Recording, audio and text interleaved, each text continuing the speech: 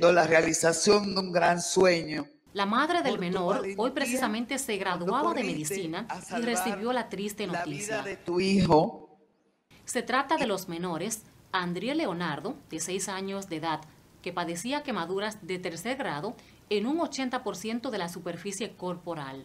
Andriel, según lo describe su abuelo, era un niño inquieto, cariñoso, que le apasionaba disfrazarse. El otro fallecido es Ángel Santos, de 13 años, que padecía síndrome de Williams. Antes del accidente, había sido intervenido quirúrgicamente. Su sueño era disfrazarse y formar parte de una comparsa, a lo que sus padres accedieron para sacarlo de la depresión en que se encontraba. Entonces mi marido contactó a esa persona que era encargado del grupo Los Toros y él dijo, no, no, no, tráemelo, que aquí se le va. Y esa fue su